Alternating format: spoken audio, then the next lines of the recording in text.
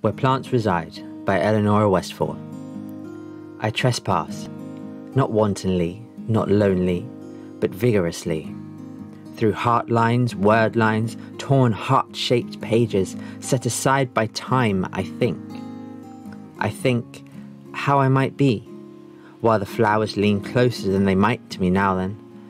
Lean and smother, thick with wild violets and hung with the wildest honeysuckle, I would grow roots then.